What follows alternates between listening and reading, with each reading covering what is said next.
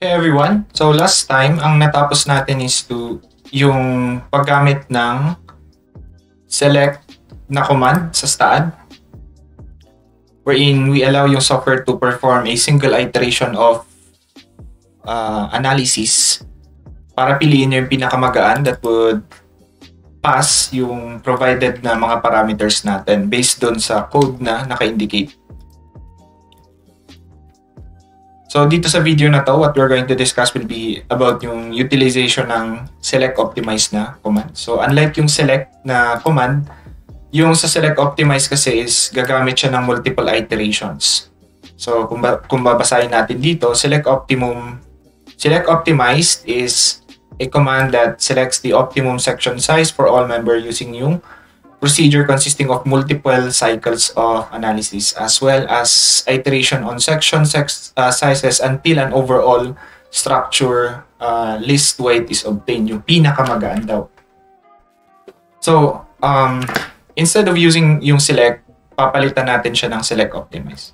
So, what I'll do is activate yung code na gagamitin ko for my design. That's, that's uh, 360-5, 2005 And then isa-select ko yung sa, sa command na select and then i-click natin sa command. Right? And then uh, select optimize after current and then add lang natin. Now, hindi pwedeng pagsabayin yung dalawa. Select and then select optimize. So, I'll close this one and then um, pupunta tayo dun sa utilize, utilities command file and then we're going to edit the inputs. So instead of deleting yung um, select command natin, gagawin na lang natin siyang comment. We will convert it into a comment by using an asterisk just before the statement o yung set ng code dito. So uh, with that, okay na yung ating command. So let me just close this and then uh, run my analysis para makita natin yung result. So I'll just simply use yung control F5 on my keyboard and then I'll wait for my for the program to complete the calculation.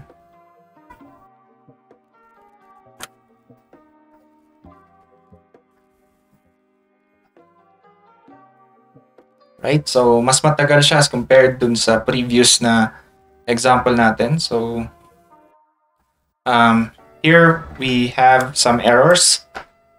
May mga error tayo dito.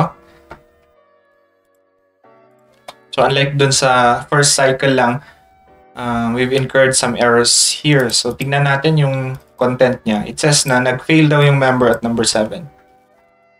Okay? So, normal lang yan. Okay lang yan. It's part of yung design workflow. So, actually, may mali doon sa ating input. So, I forgot na uh, sabihin na may correction pala. So, we open yung command file. There is a redundant command na nakalagay which is causing yung yung error. So, uh, doon sa drift check natin, um, hindi na dapat kailangan maglagay ng change command doon sa in between. Kasi ito yung sa may X and then ito yung sa Z. So, tanggalin na lang natin to. Okay? Hindi siya necessary. So, isave natin yan. And then, i-run natin yung analysis, check natin ulit yung mangyayari. Alright.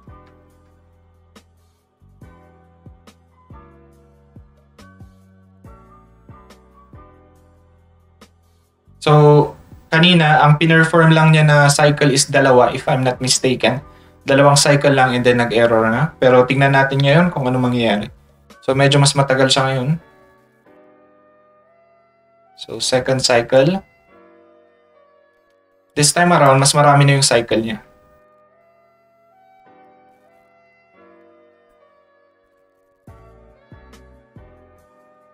So by the way, I forgot to mention na multiple cycle, ibig sabihin, uh, ng iteration, uulit-ulitin niya yung parang, um, ang gagawin niya, select muna niya, and then perform analysis.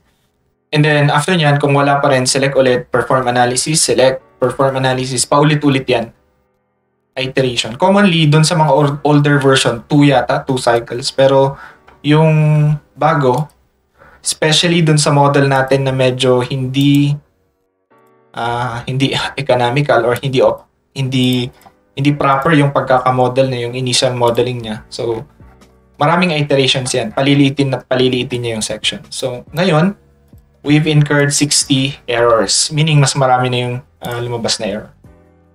Unfortunately, dun sa report na dito, yung dito sa report na to, um, it stopped until fourth iteration lang. So, kanina when we were using yung merong change command just uh, in between yung ating drift check, So meron tayong drift check kanina. Tinanggal natin and before we uh, remove pala, no, bago natin tanggalin, dalawang iterations lang, two still designs lang.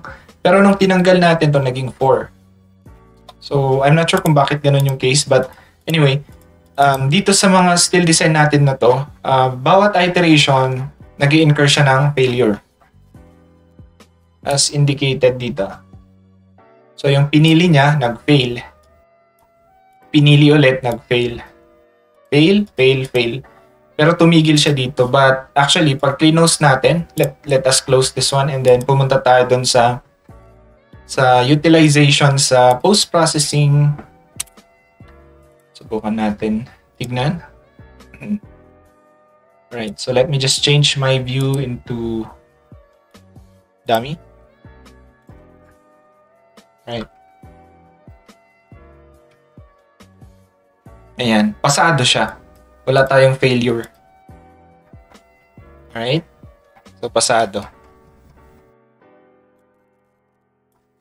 So, for yung ating, um, meron tayo ng analytical properties and then yung design properties natin. So, as you can see doon sa um, ratio natin, optimized doon sa pinakamalapit sa 1. Right? So, closest sa 1. Unfortunately, may mga So dun sa sa select natin, select command natin previously, um, we have yung mga katulad nito. So number 67. So meron tayo nito.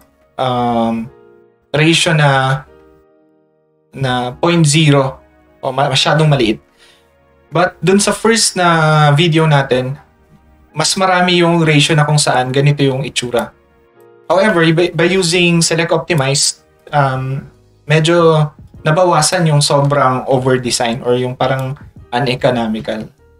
Now, dito, normal lang to because, uh, of course, um, especially dun sa mga uh, bracing natin kasi hindi da, hindi appropriate yung ginamit natin. Um, we can uh, certainly reduce this one uh, uh, apart from yung mga columns natin.